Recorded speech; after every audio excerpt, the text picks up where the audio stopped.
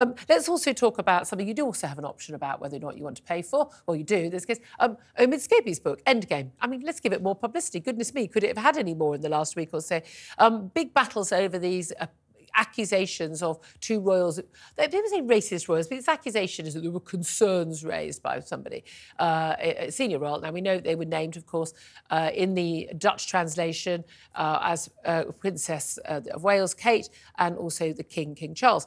Um, now, Scobie has said he didn't ever write a manuscript that, that had their names in. This couldn't possibly have happened. No idea, some mistranslation. It always smelt a bit strange.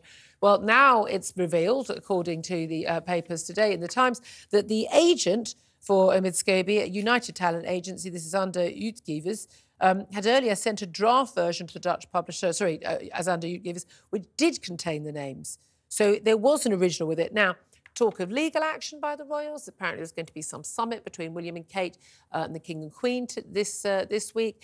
Um, but but also um, lots more lots more claims about you know Harry and Meghan being pushed out by royal circles, not being invited to the Duke of Grosvenor's wedding next year, which sounds like very very petty. But given that he is you know godfather to your child and he's not inviting you to his wedding.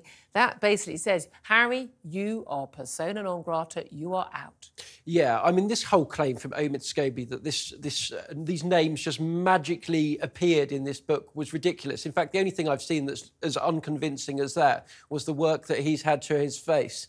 Uh, more Botox, more pullbacks than I've ever seen on a, on a man. But look, Harry has burnt his bridges. And I'm not surprised that people like the Duke of Westminster don't want him at his wedding. Harry's made clear he hates this country, he hates the institutions, he hates the family that yeah. he was a part of.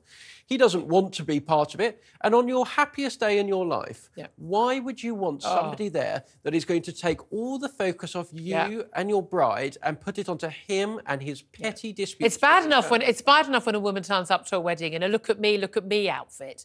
But I mean, Meghan doesn't know how not to. She'll wear beige that she wasn't allowed to wear when she was royal, apart from all the. Oh no, she did have to wear when she was royal, but continues to wear now. But she's one of those women. I'm sorry, any bride would go. I don't want her at my wedding.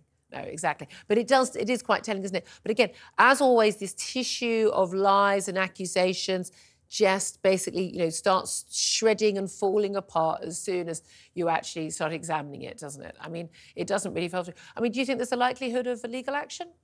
Uh, well, I hope so. It would be nice to see the courts occupied by somebody other than Prince Harry, who, of course, yeah. has got his legal claim, uh, yet another legal claim tomorrow for three days uh, at the High Court against the Home Office, demanding taxpayer-funded security whenever yeah. it lands in the country.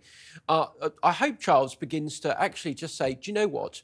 Enough is enough is enough. Yeah. We are not an open target. Never complain, never explain is fine. But when a member yeah, of doesn't work anymore. family no. just continually throws grenades all the time, you've got to ask yourself, at what point do you stand up and say, no, this is wrong? But it, but it is very, very clear how much the British public sympathies and indeed, like the, crucially, the American public sympathies are really gone with uh, you know, the Giles and the, the Camillas and the Kates and the Williams as opposed to Harry and Meghan. And that's the thing. You have no cachet other than as a royal. What do you make of uh, Bob Seely, the Tory MP, regular on this show, uh, that he's actually putting through a, a, a, bill in Parliament, he's going to attempt to, I don't know how far it will get, to strip the couple of their HRH titles. They're not to use them, you know, on their note paper and things, but they still have those HRH titles. I mean, look, because I don't approve of titles anyway. I, I, no one's you're not, you're not, you're not highness. I don't accept, I don't accept, I, am sorry, I just don't accept that anyone's below, above me or below me.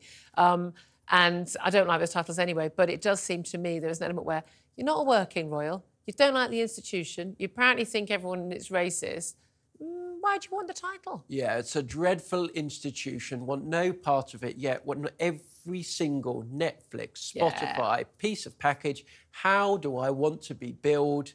His or her Royal Highness the Duke and Duchess yeah. of Sussex. I've never seen somebody weaponise their title so much. It's an outrage, and it's it's really not the done thing in the royal family, actually. As as a matter of fact, to use your title for commercial gain, and there is no question yeah. in my mind that that's what Harry and Meghan. But of course, remember all this articles last week how they, how they had to how they had to sign a deal with Netflix and Spotify for sort of 120 million or something in total because they needed money. It's like.